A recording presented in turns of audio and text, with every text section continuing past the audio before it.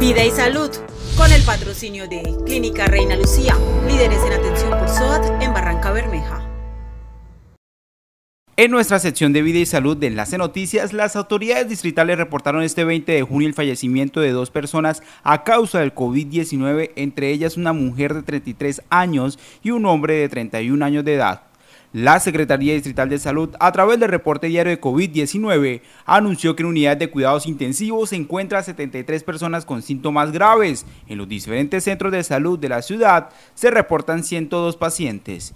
Y en casa se identifican 1.247 personas aliviándose, para un total en el distrito de 1.422 personas activas con coronavirus en Barranca Bermeja.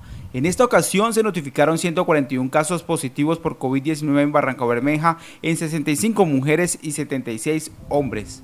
En los últimos días ha incrementado la cifra de contagios. La alcaldía distrital hace un llamado a la ciudadanía de no bajar la guardia, continuando con la aplicación de las medidas de bioseguridad, el autocuidado y el distanciamiento físico, como también acatando el toque de queda y la ley seca en Barranca Bermeja. Vida y salud, con el patrocinio de Clínica Reina Lucía, líderes en atención por SOAT en Barranca Bermeja.